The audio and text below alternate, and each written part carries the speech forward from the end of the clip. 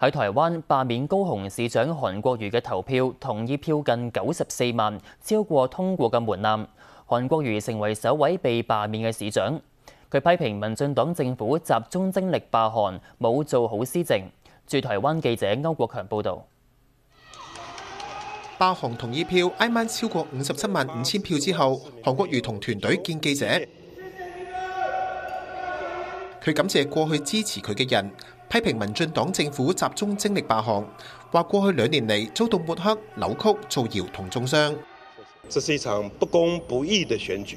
民進黨第二次執政以來，所有的心思幾乎全部集中在霸韓國家隊。如果有這種心思跟體力，為什麼不好好用在建設國家、造福民眾的身上，而把它放在全心全意的斗争，这是我非常大的一个遗憾。今次投票率系百分之四十二点一四，同意罢免佢嘅有九十三万九千零九十票，不同意就有二万五千零五十一票，同意票亦超过佢前年当选高雄市长嘅八十九万票。韩国瑜寄予下一任市长继续做好高雄嘅市政。国民党主席江启臣批评执政党用行政力量明目张胆操纵罢免案，任憑風雨。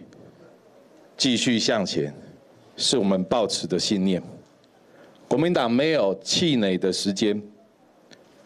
接下来的几天，我将会尽尽速与韩国瑜市长，还有党内的干部磋商，讨论如何面对接下来的补选挑战。投票係朝早八點到晏晝四點結束，隨即點票。已經突破三十萬啦！支持罷韓嘅市民到罷韓總部等點票結果。因為我覺得這是，呃，高雄人的一個大事情，想要罷免，主要也都是因為他跟原本說的跟做的不一樣。大家都去投票，很乖，很棒啊！不管是支持還是不支持的，我覺得只要有投票，這都是表現民主的價值的一部分。